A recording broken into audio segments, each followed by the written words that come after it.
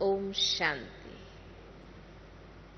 भोलानाथ सदैव शिव को ही कहते हैं। शिव शंकर का भेद तो अच्छी तरह से समझा ही है। शिव तो ऊँचे ते ऊंच, मूल वतन में रहते हैं। और शंकर तो है सूक्ष्म वतनवासी उनको भगवान कैसे कह सकते हैं? ऊँचे पे ऊंच रहने वाला है एक बाप।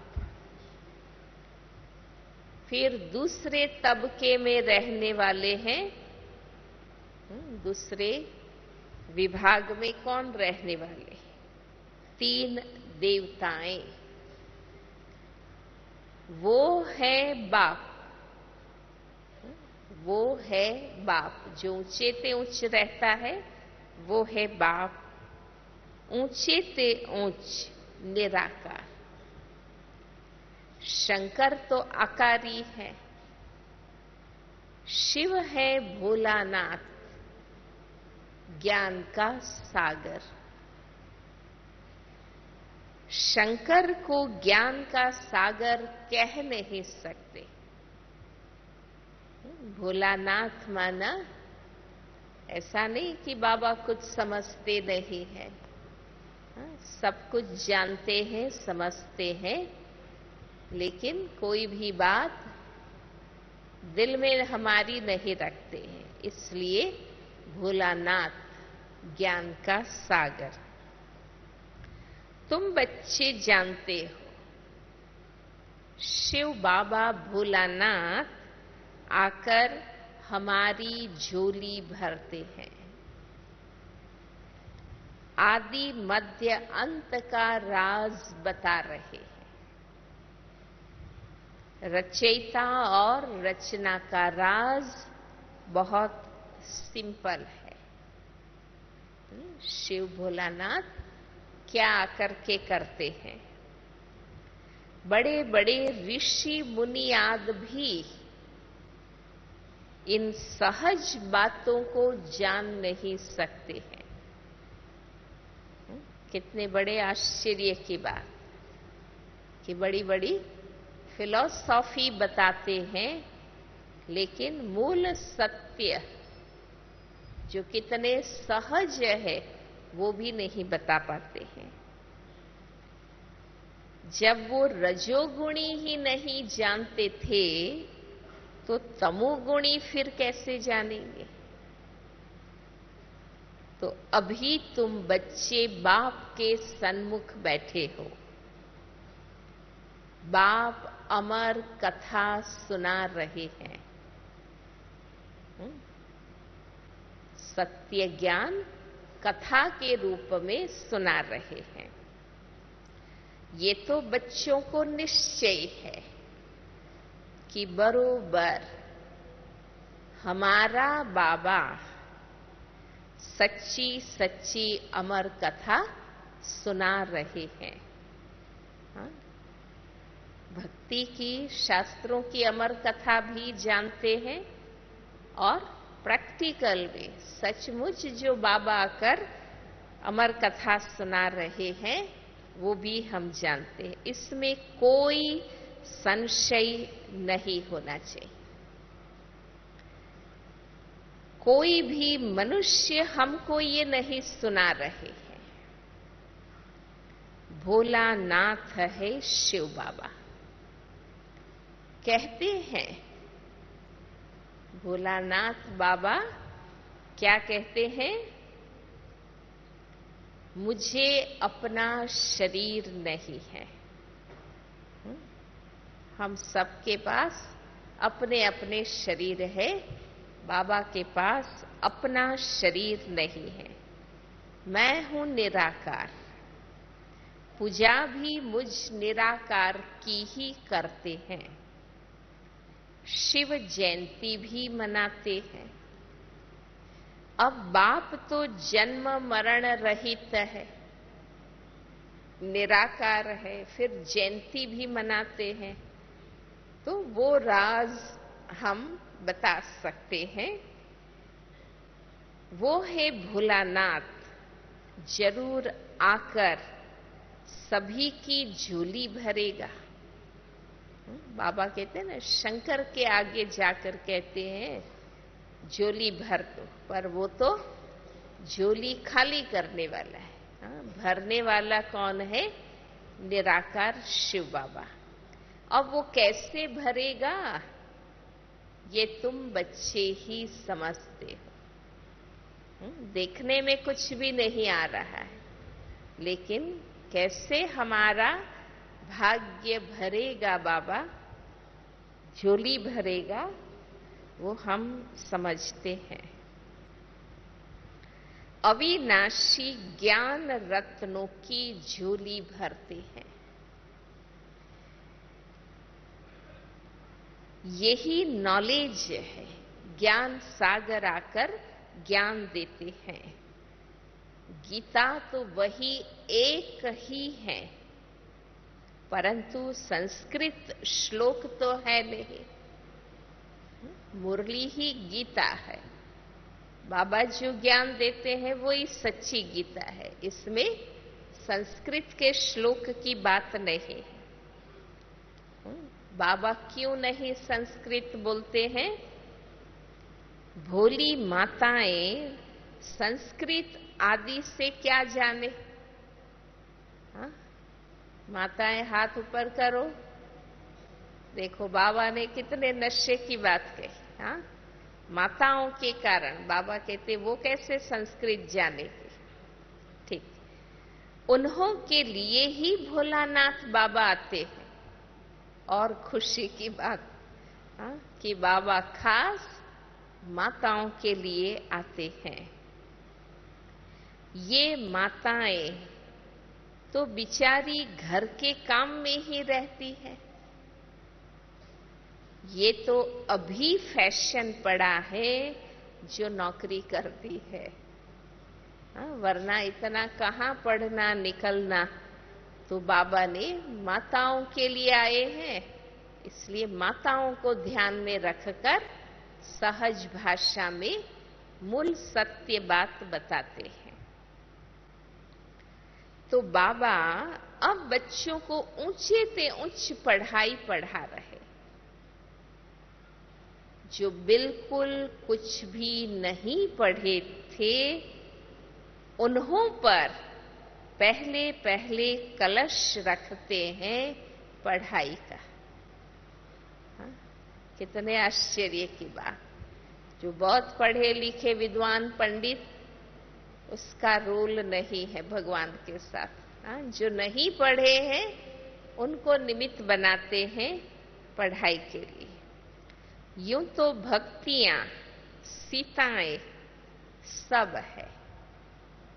राम आए हैं, रावण की लंका से मुक्त करने। हम आत्माएँ, सीताएँ हैं, भक्तियाँ हैं। द्रौपदियाँ हैं। बाबा आए हैं रावण की लंका से मुक्त करने, अर्थात दुख से मुक्त करने। फिर फिर तो बाबा के साथ घर ही जाएँगे और कहा जाएँगे? याद भी घर को करते हैं कि हम दुख से मुक्ति पावे।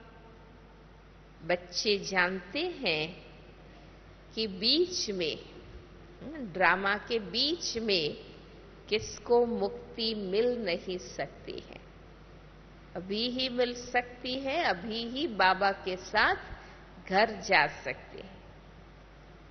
बीच में मुक्ति नहीं मिलती है, सबको तमो प्रधान बनना ही है। मुख्य जो फाउंडेशन है देवता धर्म का वो जल जाता है। माना वो खत्म हो जाता है विकारों की अग्नि में। वो धर्म ही प्रायः लोप हो जाता है। बाकी कुछ प्रायः चित्र आद जाकर रहते हैं। वो देवताई धारणाएँ सारी खत्म हो जाती है। सिर्फ़ यादगार मंदिर चित्र मूर्तियाँ रहती हैं। लक्ष्मी नारायण का चित्र भी गुम हो जाए तो यादगार कैसे मिलेगा?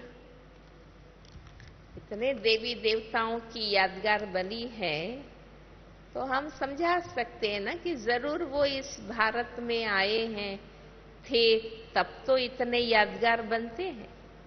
बरोबर जानते हैं। देवी देवताएँ राज्य करते थे। उन्हों के चित्र भी अभी तक हैं। बच्चों को इस पर समझाना है। तुम जानते हो हम्म, लक्ष्मी नारायण के चित्र पर क्या समझाएँगे? तुम जानते हो लक्ष्मी नारायण बचपन में प्रिंस प्रिंसेज राधे कृष्ण थे। फिर महाराजा महारानी बने। हाँ, विश्व महाराजन श्री नारायण और विश्व महारानी श्री लक्ष्मी बनते हैं। वे है ही सतयुग के मालिक। देवताएँ कभी पतित दुनिया में पैर भी नहीं धर सकते हैं हाँ?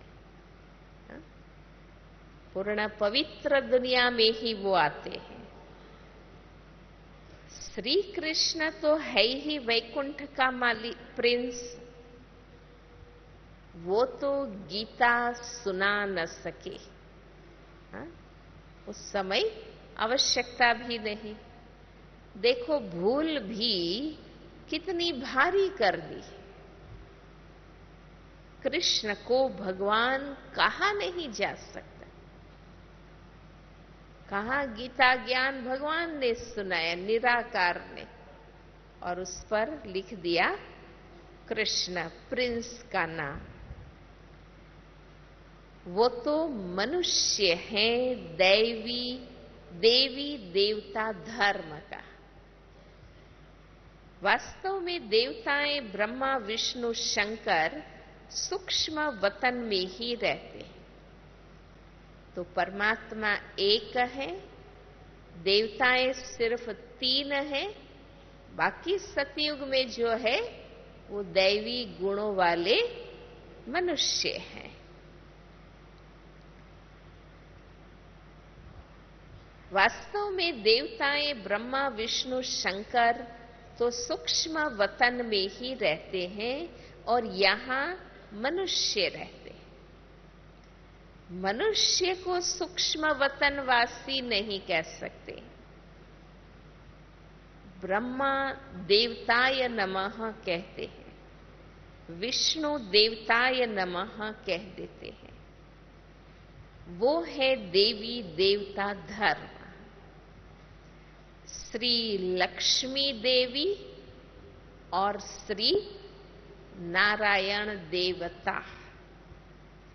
मनुष्य को ही चौरासी जन्म लेने पड़ते हैं। अभी तुम बच्चे जानते हो, असल में हम देवता धर्म के थे। इसलिए आज तक काफ़ी भारतवासियों के नाम देवी देवता के नाम है। किस किस के नाम देवी देवता के हैं, हाथ ऊपर करो। इतने सबके भाइयों में देखो, और विदेशों में नाम अलग ही रखते mister Fox, mister Dog, mister Black Smith हाँ? भारतवासियों के नाम कितने अच्छे हैं, देवी देवताओं के नाम है। अभी तुम बच्चे जानते हो, असल में हम देवता धर्म के थे। और वो धर्म बहुत सुख देने वाला है। ये कोई कह न सके और धर्म वाले कह न सके कि वहाँ स्वर्ग में हम क्यों नहीं। ये तो जानते हो ना कि वहाँ एक ही आदि सनातन देवी देवता धर्म था। फिर बाकी और धर्म नंबरवार आते हैं। ये तुम बच्चे समझा सकते हो। फिर उनको कल्प वृक्ष या चक्रक में बताना कि देखो आपका आना ही ड्रामा में द्वापर युग से है। ये अनादि बना बनाया खेल है। उसमें फिर सतयुग होगा। और भारत में ही होना है। क्योंकि भारत ही अविनाशी खंड है, इसका विनाश नहीं होता है। यूरोपवासियों ने विनाशक शस्त्र बनाए, अणुशस्त्र तो उसका फल क्या मिलेगा उनको? कि ऐसा विनाश होता है कि वहाँ सतयुग आ ही नहीं सकता है। भारत में ही आ सकता है। ये भी समझाना पड़ता है। बाप का जन्म भी यहाँ होता है। उनका दिव्य नाम जो मनुष्यों सदृश्य नहीं है। बाबा आए हैं निकालने। हाँ, दुख की दुनिया से निकालने। अभी तुम सिर्फ़ बाप और घर को याद कर। फिर तुम राजधानी में आ जाएँगे। हम्म, अभी क्या करो तो सतयुग की राजधानी में आ जाएँगे। ये तो आसुरी राजस्थान है। बाप ले जाते हैं दैवी राजस्थान में। और कोई तकलीफ़ नहीं देते। हैं सिर्फ़ बाप और वर्षे को याद करना ये है अजपा जाप इस याद को अजपा जाप कहते हैं। जपना न पड़े, रटना न पड़े, ऐसा अजपा जाप निरंतर याद। और बाबा स्पष्टीकरण करते हैं, मुख से कुछ भी कहना नहीं रटना नहीं है, बोलना नहीं, सूक्ष्म में भी कुछ कहना नहीं, मन में भी रिपीट नहीं करते रहना है। क्या करना है? साइलेंस में। बाप को याद करना है। और कहीं भी घर बैठे भी याद कर सकते बांधेलियाँ भी घर बैठे सुनती है। उनको छुट्टी नहीं मिलती है। हाँ घर बैठे भी पवित्र रहने की कोशिश करो। बोलो उनको बताओ। पति को क्या बताओ? हमको स्वप्न में डायरेक्शन मिलते भगवान हमें डायरेक्शन देते हैं कि पवित्र बनो। अभी मौत सामने खड़ा है। तुम अभी वानप्रस्थ अवस्था में हो। तो वानप्रस्थ में कभी विकार का ख्याल थोड़े ही होता है। ऐसा ऐसा उनको बताओ कि मुझे भगवान स्वप्न में आकर ऐसे ऐसे कहते अभी बाप सारी दुनिया के लिए कहते हैं सभी की वानप्रस्थ अवस्था है।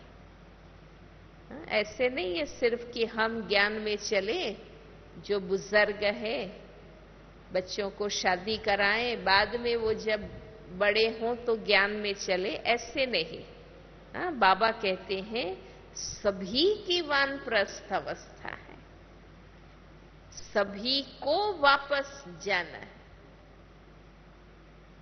तो घर को याद करना है। फिर आना भी भारत में है। मुख तो घर की तरफ़ ही होगा ना। बस बाकी बच्चों को और कोई तकलीफ़ नहीं दी जाती है। बड़ा सहज है। सहज है या मुश्किल? सहज है? हाँ माताओं का आवाज़ नहीं आ रहा। है? अच्छा। बड़ा सहज है। हम्म, देखो बाबा माताओं से क्या बात कर रहे हैं? घर में बैठ भल भोजन बनाओ। शिव बाबा की याद में हम्म? घर में भोजन बनाते हो तो पति याद रहता है ना हम्म? भाई, इनको ये अच्छा लगेगा, इनको ये नहीं अच्छा लगेगा तो याद करते हो ना बाबा कहते हैं कि ये तो ये तो कौन है पतियों का पति है। उनको याद करो, जिससे किस जन्मों के लिए वर्षा मिलता है।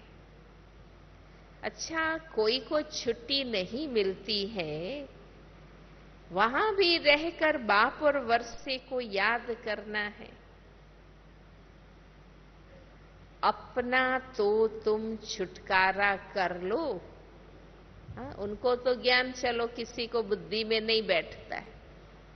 तो वो विघ्न डालेंगे, बंधन डालेंगे, पर तुम घर बैठे पुरुषार्थ करके भी अपना छुटकारा कर लो। बाबा से पूरा वर्षा ले सकते हो। धीरे धीरे तो छुटकारा मिलना ही है। हाँ रुद्र ज्ञान यज्ञ में विघ्न भी ज़रूर पड़ने हैं। लेकिन आखिरी जब तुम्हारा प्रभाव निकलेगा तो तुम्हारे चरणों में माथा टेकते रहे। हाँ, जो आज विरोध करते हैं विघ्न डालते हैं पर अगर हम हिम्मत से लक्ष्य से बाबा के श्रीमत पर चलते रहेंगे तो आखिर वो दिन भी आएगा कि वो माथा टेकते रहेंगे। बाकी विघ्न तो पड़ते ही रहेंगे। इसमें धैर्य धरना है, उतावला नहीं होना है। घर बैठे पति आदि मित्र संबंधियों को एक ही बात समझाओ। बाबा का फरमान है मुझे याद करो, वर्षा लो कृष्ण तो हो नहीं सकता है, बाबा को ही याद करना है, बाप का ही परिचय देना है, जो सब जान जाए, हमारा बाबा शिव बाबा है हा? सारी दुनिया को पता चल जाए इसलिए बस यही बात सबको समझाओ कि बाबा कौन है शिव बाबा कौन है। हुँ? ऐसे नहीं विनाश की बात स्वर्ग की बात स्वर, साक्षात्कार की बात वो नहीं। बाबा कहता है सबसे पहले मेरा ही परिचय सबको दो। वह भी अभी याद अच्छी रह सकती है। अंत में तो हलचल होगी, उस समय याद नहीं रह सकेगी मेहनत पड़ेगी, अभी से अभ्यास करेंगे तो अंत में याद रह सकेगी। बाकी थोड़े समय के लिए ये बंधन, मारपीट आद है। आगे चल, ये सब बंद हो जाएँगे। कोई बीमारी, कोई कोई बीमारी होती है जो झट छूट जाती है। कोई वर्ष, दो वर्ष तक भी चलती है। तो उसमें भी उपाय यही है। बाबा कहते ना, चलो भाई, दवा याद जो करना है वो करो। लेकिन दवा भी करो, दुआ भी करो और योग करो बाबा को याद करो। तो बाबा क्या उपाय बताते हैं? इसमें भी उपाय यही है। बाबा को याद करते करते बंधन छूट जाएँगे। हाँ, ये भी कर्म के बंधन का एक प्रकार है बीमारी। संबंधों का बंधन जो नहीं मानते हैं विघ्न डालते हैं। इसलिए हर बात में धीरज चाहिए। बाबा कहते हैं, जितना तुम याद करेंगे, उतना विकर्म विनाश होंगे। बुद्धि हमारी वहाँ से टूटती जाएगी। विकारों से, विकारी संबंधों से, दुनिया से आसक्ति टूटती जाएँगी। ये विकर्मों के भी बंधन है। विकार को ही नंबर वन विकर्म कहा जाता है। अभी तुम विकर्मा जीत बनते हो। विकर्मा जीत याद से ही बना जाता है। अल्टीमेट आखिर कर्मातीत बनना है। पर कर्मातीत बनने से पहले विकर्माजीत बनना है। और वो याद से बनेंगे। सभी खाते खलास हो जाएँगे। हाँ, जो भी कर्मों के उधार के खाते हैं वो सब खलास हो जाएँगे। उसके बाद फिर सुख का, का खाता शुरू होगा। व्यापारियों के लिए तो बहुत सहज है। हुँ? कौन कौन बिज़नेस करते हैं? हाथ ऊपर करो। हाँ, ये सब बाबा के बिजनेसमैन बच्चे। माताएँ भी हैं बिज़नेस करने वाली। देखो बहुत सारी। हम्म? इसलिए बाबा याद करते हैं। व्यापारियों के लिए बहुत सहज हाँ, रोज हिसाब रखते हैं ना। समझते हैं कि पुराना खाता खलास कर फिर नया शुरू करना है। याद करते रहेंगे तो जमा होता जाएगा। हाँ, जमा करने की विधि याद करते रहे। याद नहीं करेंगे तो जमा कैसे होगा? ये भी व्यापार है ना? बाबा तो कोई तकलीफ़ नहीं देते हैं। धक्के आद कुछ भी खाने का नहीं है। हाँ, भक्ति में तो कितने धक्के खाते विनाशी कमाई में कितने धक्के खाने पड़ते बाबा कहते हैं यहाँ धक्के आद कुछ भी खाने का नहीं। वो तो जन्म जन्मांतर खाते ही आए अभी सत्य बाप कितना अच्छी रीति समझाते हैं। गॉड ही सत्य बोलते हैं। हम्म? इसलिए गॉड इज़ ट्रूथ कहते क्योंकि भगवान ही सत्य बोलते हैं। बाकी तो सब है झूठ। कंट्रास्ट तो देखो, बाबा क्या समझाते हैं और मनुष्य क्या समझाते? हा? कितना अंतर है? ये है ड्रामा हम्म?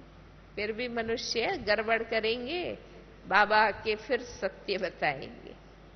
ये है ड्रामा फिर भी ऐसे ही होगा। अभी तुम जानते हो। हम सदगति को पाते हैं श्रीमत पर चलने से। नहीं तो इतना उच्च पद नहीं मिलेगा। तुम निमित्त बनते हो स्वर्ग में जाने, वहाँ कोई विकर्म होता नहीं। यहाँ विकर्म होता है तो सजा भी भोगनी पड़ती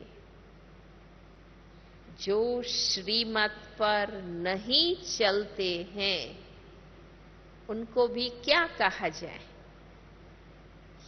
कौन सा टाइटल मिलेगा? हाँ सोचो बुद्धि में। जो श्रीमत पर नहीं चले, उसको क्या कहा जाए? नास्तिक। हाँ? जानते हैं पर मानते नहीं है तो नास्तिक। भल जानते हैं, बाबा आस्तिक बनाते हैं, परंतु फिर भी अगर उनकी मत पर न चले तो नास्तिक ठहरेगा हाँ? और भक्ति वालों को हम क्या कहेंगे कि भगवान को मानते हैं, पर जानते नहीं है, इसलिए वे नास्तिक है हाँ? बाबा हमें क्या कहते हैं तुम जानते हुए भी नहीं बाबा की श्रीमत पर चलते हो तो तुम नास्तिक। श्रीमत है श्रेष्ठ बनने की। सबसे ऊँचे ते ऊंच वो सतगुरु है। बाबा बैठ बच्चों को सन्मुख समझाते, कल्प कल्प समझाया जाता है। कल्प कल्प समझाया था, बाकी शास्त्र सब भक्ति मार्ग के हैं। अनेक ढेर के ढेर शास्त्र है। शास्त्रों की भी बहुत इज़्ज़त रखते हैं। कहते हैं ना, इतने शास्त्र है, इतने शास्त्र है कि इंसान बाकी सब काम छोड़ दे, केवल शास्त्र पढ़ने के लिए बैठ जाए तो भी जीवन पूरा हो जाएगा, लेकिन शास्त्र पूरे नहीं होंगे। हाँ इतने शास्त्र है। जैसे शास्त्रों को परिक्रमा देते हैं, वैसे चित्रों को भी परिक्रमा दिलाते हैं। अब बाबा कहते हैं। हाँ? अब देखो बाबा क्या कहते हैं। बहुत मुख्य तीन चार पॉइंट्स बाबा बता रहे हैं। अब बाबा कहते हैं इन सभी को भूल जाओ। सब जो शास्त्रों का अगड़म बगड़म पढ़ा था, वो सब भूल जाओ। एकदम बिंदु बन जाओ। हाँ? क्योंकि वो तो विस्तार है ना। अब सार में आ जाओ, बिंदु बन जाओ। और बिंदी लगा दो। और कोई बातें सुनो नहीं hear no evil, see no evil, talk no evil. एक बाप के सिवाय दूसरे कोई की बात मत सुनो क्योंकि आत्माएँ अल्पज्ञ है, उसकी बात नहीं सुनो। अशरीरी बन जाओ। और सब कुछ भूल जाओ। हम्म? देखो, कितनी अच्छी बातें बाबा ने कही। तुम आत्माएँ शरीर के साथ सुनती हो। बाबा आकर ब्रह्मा द्वारा समझाते हैं। बच्चों को सदगति का मार्ग बतलाते हैं। भल पहले कितने भी यत्न किए, परंतु मुक्ति, जीवन मुक्ति कोई पा नहीं सकते। कल्प की आयु भी लंबी कर दी है। जिनकी तकदीर में होगा तो सुनेगा। तकदीर में नहीं है तो आ न सके। यहाँ भी तकदीर की बात है। हा? तकदीर की बात है। बाबा समझाते कितना है? सहज है। कोई कहते हैं, हमारा मुख नहीं खुलता। है माना हम समझा नहीं पाते हैं बाबा का ज्ञान। तो बाबा कहते हैं, अरे, इतनी सहज बात है। बाप और वर्षे को याद करना है। इतना भी तुम नहीं समझा सकते। अब उनको ही संस्कृत में कहते हैं मन मना भव। शिव बाबा है सभी आत्माओं का बाप। कृष्ण को बाप कह नहीं सकते। ब्रह्मा भी बाप है सारी प्रजा का। अब बताओ आत्माओं का बाप बड़ा या प्रजा का बाप बड़ा? हा? कौन बड़ा? देखो, ब्रह्मा के तन में बैठ के ही बोल रहे हैं शिव कि मैं बड़ा या ब्रह्मा बड़ा? बड़े बाबा को याद करने से ब्रह्मा बाबा कहते हैं, बड़े बाबा को याद करने से प्रारब्ध स्वर्ग का वर्षा मिलेगा। आगे तुम्हारे पास बहुत आएँगे। मैंने जैसे जैसे समय आगे बढ़ता जाएगा, जैसे आज वो समय आ गया, बहुत लोग बाबा के पास ज्ञान सुनने आते हैं। जाएँगे कहाँ? हाँ? बाबा कहते जाएँगे कहाँ? आते रहेंगे। जहाँ बहुत लोग जाते हैं, एक दो को देख बहुत और भी घुस पड़ते हैं। तुम्हारे में भी वृद्धि को पाते रहेंगे। विघ्न कितने भी आए, उन खिटपिट से पास होकर अपनी राजधानी तो स्थापन करनी ही है।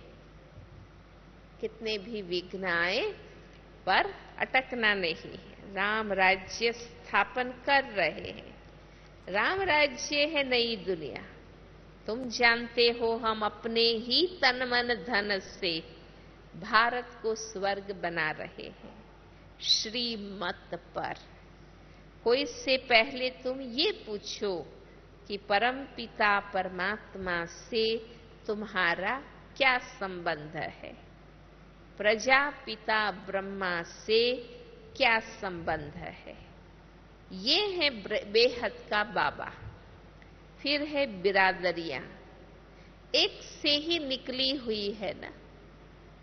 एक देवता, फिर उससे कितनी बिरादरियाँ निकली? परम पिता परमात्मा ने प्रजापिता ब्रह्मा द्वारा सृष्टि रची है। अर्थात पतित से पावन बनाया। दुनिया कुछ भी नहीं जानती। हम सो पूज्य, हम सो पुजारी गाते हैं। परंतु वे फिर भगवान के लिए कह देते हाँ? भगवान के लिए वो कह देते हैं, आप ही पूज्य, आप ही पुजारी। ऐसे भगवान के लिए कह देते हैं। तो बाबा कहते हैं कि अगर भगवान ही पुजारी बने तो फिर कौन पूज्य बना है? ये पूछना चाहिए। बच्चों को हम सो का अर्थ समझाया है। हम सो शुद्र थे, अब हम सो देवता बन रहे हैं। चक्र को तो याद कर सकते हो ना? चक्र माना हमारी अपनी ही स्टोरी है। हमारा अपना ही इतिहास है। वो तो याद कर सकते हो ना? गाया भी जाता है सन शोज़ फादर सोज सन फिर सन शोज़ फादर अच्छा मीठे मीठे, सिकी लधे बच्चों प्रति मात पिता बाप दादा का याद प्यार और गुड मॉर्निंग, रूहानी बाप की, रूहानी बच्चों को नमस्ते, रूहानी बच्चों की, रूहानी बाप को नमस्ते।